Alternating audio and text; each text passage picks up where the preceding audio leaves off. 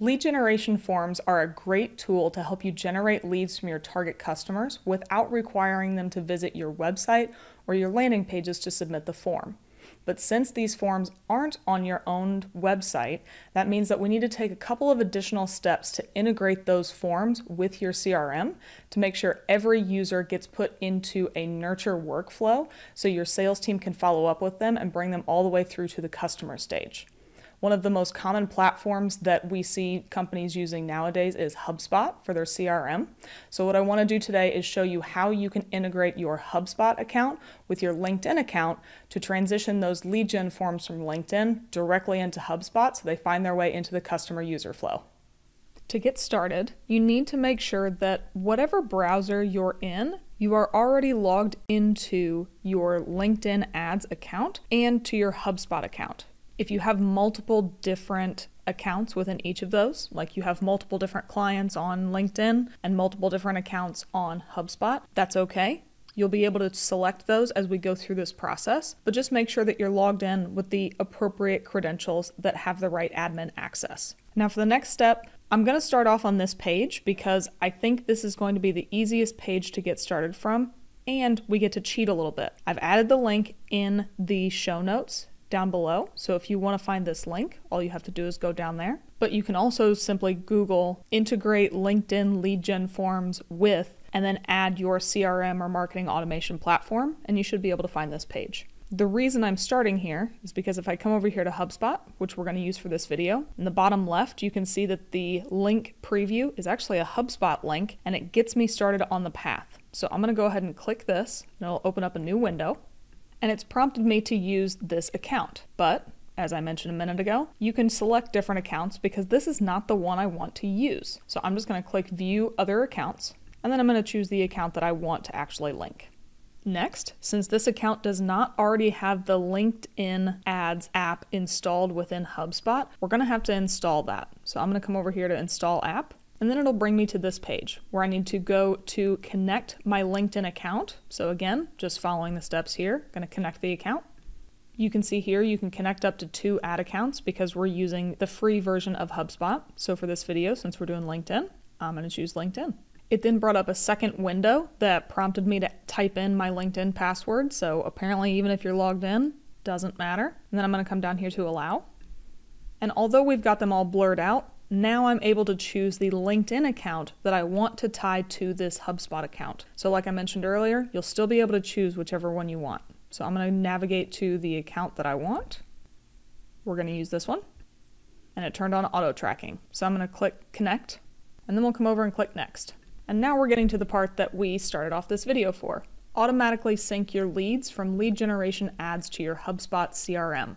Since this is a brand new integration, HubSpot is giving us the option to choose if we want only new leads or if we want to import some of the leads from the last 90 days. So here we can say that we can sync the time frame and you can choose all leads, which means all leads from the last 90 days and all new leads will sync to HubSpot, or you can choose just new leads. So this is important. If you have been manually pulling the lead information out of LinkedIn and adding it to HubSpot, you should choose only the new leads section. If you have not been doing that, you'll want to choose all leads to make sure that you're not missing out on the leads that you've generated from the platform in the last 90 days. So depending on how you've been managing it, choose the one that's right for you. Since this is a placeholder LinkedIn account and a placeholder HubSpot account, there are no leads, so I'll just leave it as all leads. And then we'll click next.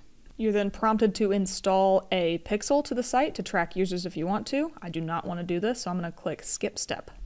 And that's all we need to do to integrate the LinkedIn and HubSpot accounts together so that all of our lead forms will be populated into the account. Now, to test this, what I want to do is jump into that account. I'm going to create a new ad with a new form, test submit, and then we're going to see if it shows up in HubSpot. So let's hop into that account. And I've already navigated to a lead generation campaign that's all set up with all the fake information, all that good stuff. There is an ad already in here, but it's already had a test lead submitted recently. I wonder why. So I'm going to create a new one. So just for sake of showing you how to do this, you come in here and you can duplicate an ad. Everything is still going to have all of this placeholder information for the fake ad with the fake form. And it's already got the form from November 2020 in here.